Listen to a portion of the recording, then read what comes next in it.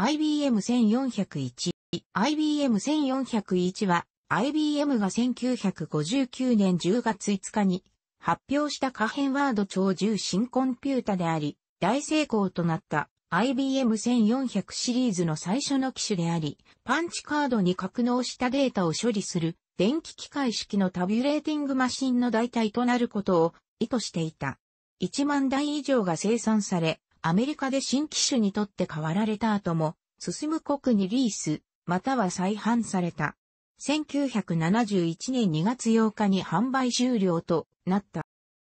発表には次のような文言がある。すべてトランジスタ化された IBM1401 データ処理システムは従来パンチカード機器しか使えなかった中小企業でも手の届く価格で電子式データ処理システムの機能を提供する。高速カードパンチ及び読み取り、磁気テープ入出力、高速印刷、内蔵式プログラム、算術及び論理演算能力といった機能がある。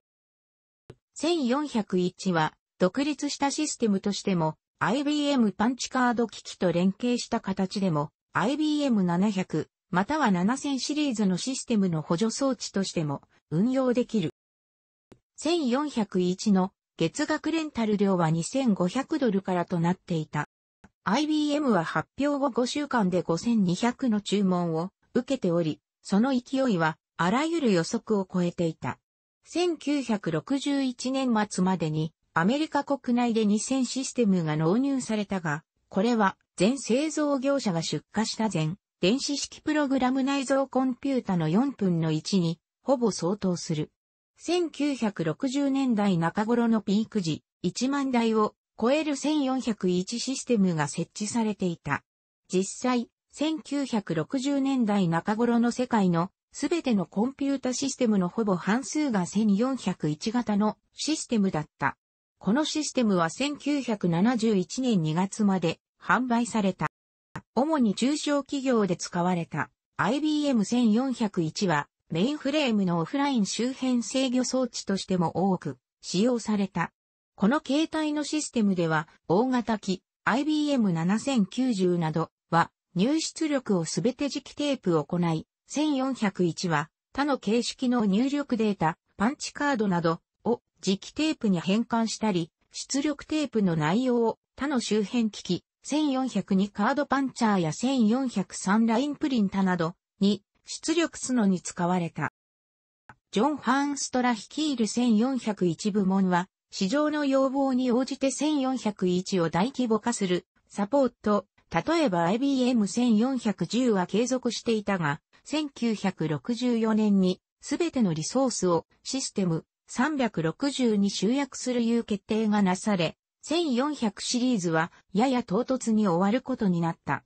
360が1401と非互換であったため、1400シリーズ互換のハネウェル200シリーズとの競合が生じたため、IBM はマイクロコードをロムの形式で360の一部モデルに搭載し、1401の命令をエミュレートできるようにした。カリフォルニア州マウンテンビューのコンピュータ歴史博物館にて2台の1401システムが動作可能な状態に復元され、当時、あるいは現在のデータセンターのような上げ底の床で線を隠した状態で展示されている。1401では、各 A 数字を6ビットで表現し、各ビットを B、A、8、4、2、1と呼ぶ。B、A、ビットはゾーンビット8、4、2、1のビット群は数字ビットと呼ぶ。これらの故障は IBM の80ランパンチカードから取られている。IBM は1401の文字コードを BCD と称していたが、実際のところこの用語は重心の数字の符号化しか説明していない。1401の英数字の称号順序は、パンチカードの称号順序と互換となっている。記憶装置上では、この6ビットにさらに2ビットが付属し、C ビットはオットパリティチェックであり、M、ビットはワードマークビットである。メモリ上、これらビットは以下のようなフォーマットで配置される。CBA8421M、1401のメモリ構成は 1.4K、2K、4K、8K、16K の5種類あった、ごく一部の1401は、特注で 32K まで拡張された。メモリは、文字単位で、アドレス指定可能であり、アドレス範囲は0から15,999までだった。一部命令は特定のメモリ位置を使用するが、それらの位置は予約されているわけではなく、他の用途にも使用可能である。リード、A カード命令は80欄分のデータをパンチカードから読み取り、メモリ1001から080に格納する。インデックスレジスタはメモリ上に3本あり、それぞれ087から089、092から094、097から099の位置である。パンチ、A カード命令は101から180の位置の内容をパンチカードにパンチする。ライト、A ライン命令は201から332の位置の内容をプリンターに出力する。1401の命令フォーマットは次の通りである。命令コードは1文字である。メモリアドレス。I は分岐先アドレス。A と B はデータのアドレスと装置アドレスは3文字で表される。命令コードの修飾詞は1文字である。以上から命令の長さは1文字、2文字、4文字、5文字、7文字、8文字がある。多くの命令は後続文字、通常、次の命令の命令コードにワードマークを必要とする。命令一覧は文字コードと命令コードの節を参照。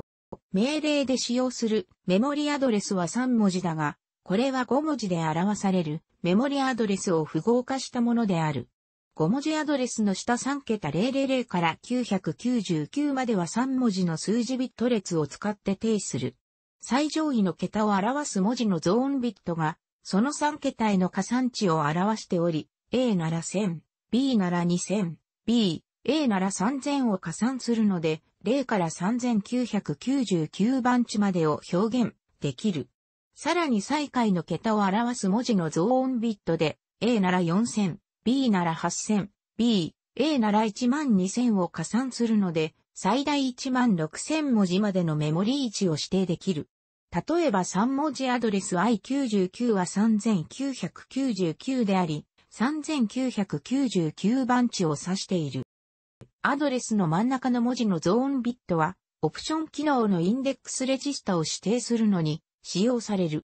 A アドレスと B アドレスが指しているオペランドは、1文字、可変調、フィールド、可変調レコードの場合がある。可変調フィールドを指す場合は、アドレスの大きい端、数値の場合は、最下の桁を指し、終端は最後の文字、最上位の桁にワードマークをセットすることで示す。可変調フィールドの長さには制限がなく、メモリの許す限り長いフィールドを使用可能である。可変長フィールドを扱える命令としては、四則演算、 Add、Subtract、Multiply、Divide と比較命令と、文字列転送、変換命令、 Move Characters to A or B Word Mark、Move Characters Edit がある。一つ以上の可変長フィールドで可変長レコードを構成できる。可変長レコードを指す場合は、アドレスの大きい端を指し、フィールドは word mark 付きの group mark 文字で区切り、レコード終端、アドレスの一番小さい位置にレコードマーク文字を置く。Move Characters to Record or Group Mark という命令でレコードをまとめたブロックを作ることができる。アドレスレジスタには命令実行でアクセスしたオペランドのアドレスが残るので、連続するオペランドを使って処理をする場合、アドレスを省略して連鎖させることができる。例えば、連続するデータフィールド群の加算を行うコードが A700、850、A695、845、A690、840だったとする。これを連鎖させて A700、850、A、A のようにアドレス指定を省略することができる。IBM 1402のロードボタンが謳歌されると、カードがバッファ、メモリ上の001から080番地に読み込まれる。この時001番地の文字にワードマックがセットされ、カードの最初の命令を有効にする002から080番地のワードマークはクリアされる。先頭の命令は常に2オペランド、7文字のセット、ワードマーク命令であり、これは後続の命令コードにワードマークがなくとも実行可能で、後続の2命令にワードマークをセットできる。このようにして、カードデッキ内の命令列の実行が継続され、プログラムをメモリにロードし、ワードマークをセットし、最後に、プログラムの開始アドレスに分岐する。パンチカード1枚に収まる、実用的なプログラムもある。よく使われたのは、後続のカードデッキの内容をそのままプリンターに出力するプログラムや、後続のカードデッキをそのままカードンチで複写するプログラムなどである。トム・ファンベレックのウェブサイトには、ハローワールドとプリンターに出力するパンチカード1枚に収まるプログラムが紹介されている。上実のように、ロードボタンを謳歌すると001番地、先頭のから実行を開始する。は命令コードとしては、セットワードマーク命令である。それが7命令続いており、読み込んだ全命令にワードマークを設定する。は、クリアストレージ命令で、オペランド333で指定された、プリンター出力エリアの333から300の範囲をクリアし、次ので連鎖アドレスを使って299から200の範囲をクリアする。次の命令コード M は move characters to word mark 命令であり、079番地から250番地へワードマークまで文字列転送を行うが、これがハローワールドをプリンター出力エリアにコピーすることになる。次の2がライトライン命令で印字を行い、次の回がコントロールキャリッジ命令、就職詞が1でプリンターにページ送りをさせ、次のがハルト命令となっていて停止する。065はハルト命令の番地であり、スタートボタンを謳歌しても停止したままとするようになっている。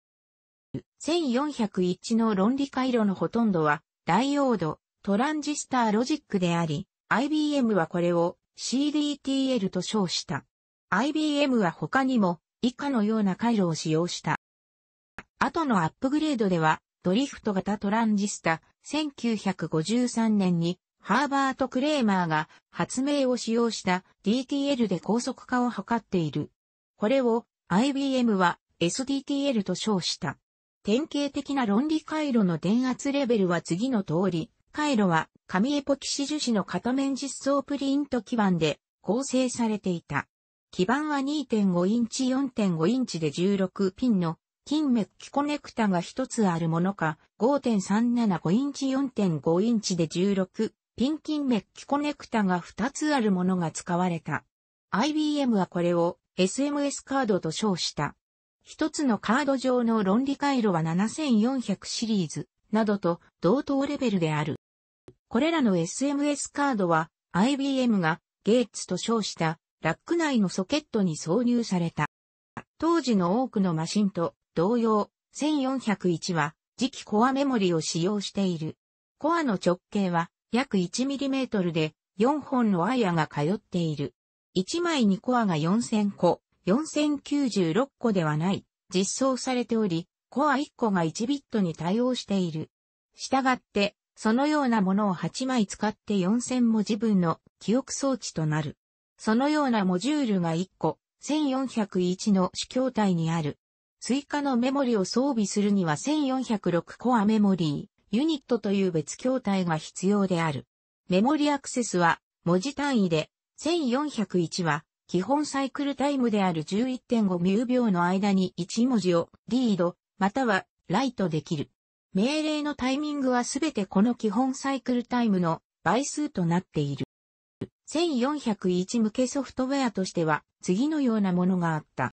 2006年10月、アイスランド出身の前衛音楽家、ヨハン・ヨハンソンが 4AD から IBM1401 A ユーザー S マニュアルというアルバムをリリースしている。アイスランド初のコンピュータの保守技術者だった彼の父と、その友人でアイスランド初のプログラマとなったエリアス・デビッドソンが1964年に作った曲をベースとしている。ヨハン・ヨハンソンは電子音や父が保管していた IBM1401 が歌った歌を録音したオープンディールの録音テープなども加え、それをオーケストラ向けに書き直して長くした。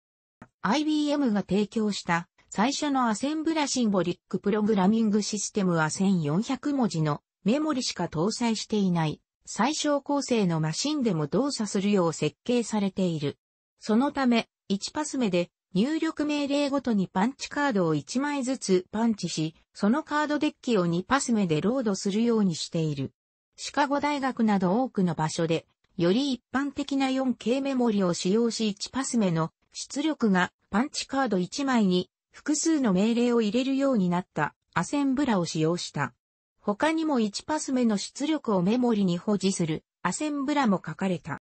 CPU の上にトランジスタラジオを置くと雑音で音楽を奏でることができたため、様々な音楽を演奏するデモプログラムが作られた。また、プリンターで点と例などを並べて印字することでキッチュな絵を描くというデモプログラムも作られた。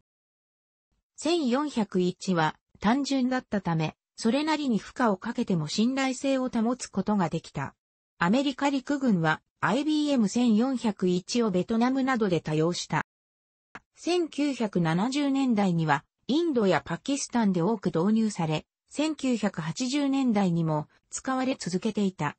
現在のインド人及びパキスタン人の IT 起業家の一部は1401でコンピュータに触れたのである。例えば、パキスタン発のコンピュータは1401でパキスタン国際航空が導入した。以下の表はキャラクターを辞書的順序で示したものである。楽しくご覧になりましたら、購読と良いです。クリックしてください。